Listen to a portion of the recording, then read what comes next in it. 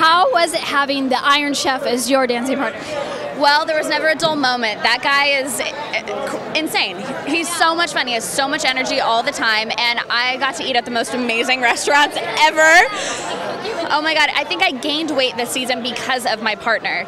So that kind of sucked, but the food was unreal. We went to New York while he was filming, and I ate at every restaurant, even when I wasn't hungry.